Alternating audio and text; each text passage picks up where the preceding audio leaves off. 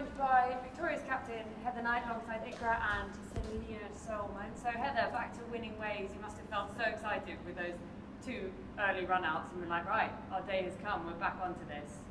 Yeah, and then they put on 150, so it's quite a uh, levelling sport, isn't it? But um, yeah, it was a very good wicket. I think the way we bowled first up, uh, particularly Tara and, and Fatima, restricted them really nicely, and obviously uh, the way we were in the field, I think we talked about it after the game the other day, uh, wanted to, to dominate a little bit more and be a little bit more positive and have a lot more energy and I thought the girls did that brilliantly um, today so yeah really pleased um, and I think on such a good wicket to keep them to that we were, we were pretty happy at halfway. Yeah, was there a time when they were motoring and you were thinking we're looking at 170, 180 here? Not too much, I, I think they would have had to really go some um, and boundaries were quite easy to, to come by, obviously quite short boundaries as well. Um, but yeah, I thought the way we bowled, particularly in the first 10, really put pressure on them. But credit to, to Sune and um, Stafanie, they, they batted very well and, and made it very difficult to, to set fields and for us to bowl to. Yeah, so Selina, your first game with the Army, back to winning ways, and you've joined us, you were late to arrive from Vanuatu, so got used to the team. What's it like to be out there with everyone? Um, honestly, it's really good. Um, it's always good to be part of the winning team. Uh, I think it was a good game. I've learned a lot. It's always an honor playing alongside amazing cricketers. So yeah, I really had fun. So, yeah. yeah. And maybe you're the lucky charm. Um, so Ikra, obviously, um, same for you. What's it like to be part of this side and performing on the stage in the first FairBreak? It's it's really amazing, especially to be a part of Barmy Army and playing under such amazing, amazing stars. Like, it's really, really.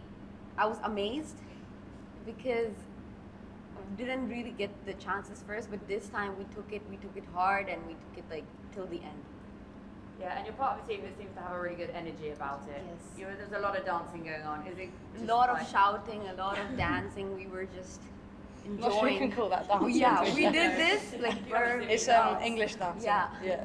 We, we taught a bit of English dancing, Yes. didn't we? We did like the English dance, like Barmy Army, and we we're shouting and enjoying. So Yeah, and you all seem to be enjoying it out there. Deandra Dottin was obviously enjoying it. A few wickets went, but what was it like to be out there to be able to contribute at the end, Heather? You came out, had a bit of a set off very quickly. Everyone wants to get home at the end of this one, and nice to be out there to finish it off. Yeah, we've got a golf day. We have to leave at half six in the morning, so I was a bit like, we better hurry up so we can get a little bit of sleep.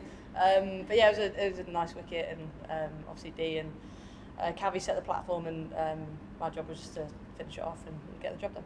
And maybe Dee's been practicing golf. She's teeing off today. She's going to hit you all on tomorrow. So, yeah, back to winning ways and with 25 balls still to spare. Um, so, looking ahead, obviously, golf day, say rest day, but what else will you do as a team to just like get more involved and look to your next game? What, do you, what would you like to get up to, Selina, as a Barmy side?